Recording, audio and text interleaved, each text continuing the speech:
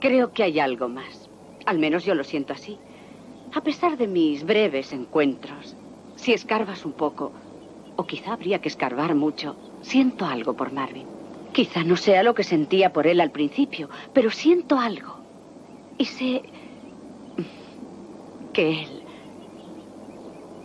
también siente algo por mí si escarbas un poco. O quizá escarbando mucho. Eso es importante. Y no quiero perderlo.